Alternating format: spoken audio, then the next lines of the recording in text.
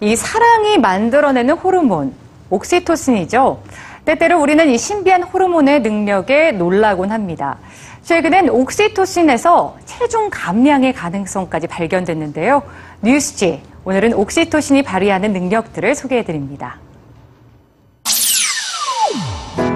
옥시토신, 사랑의 호르몬, 포옹의 호르몬이란 별명을 가진 호르몬입니다.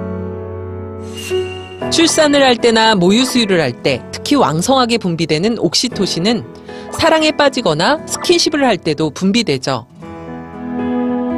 옥시토신은 사람과 사람 사이의 친밀감과 유대감을 더욱 높여줍니다.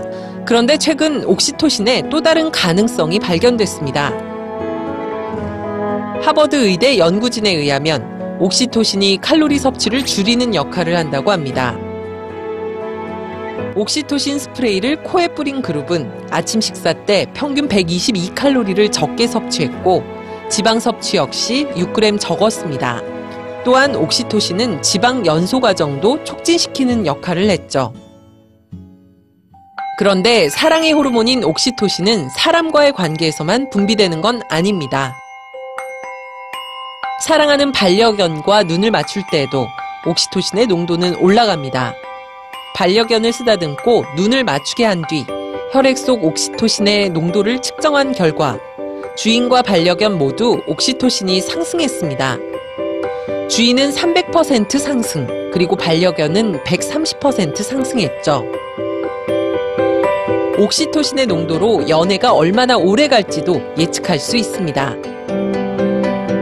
연애를 하고 있는 커플의 옥시토신 농도는 솔로보다 2배 이상 높았는데 커플들의 연애 초기 옥시토신 농도를 비교해 본 결과 옥시토신의 농도가 높았던 커플의 경우 6개월 이상 연애 관계가 지속됐죠.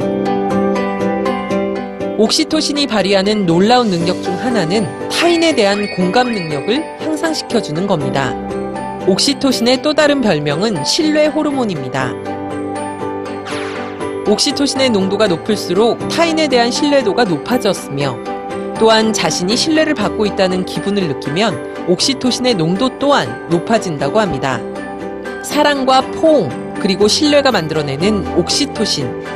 오늘 여러분의 옥시토신 농도는 얼마였는지요?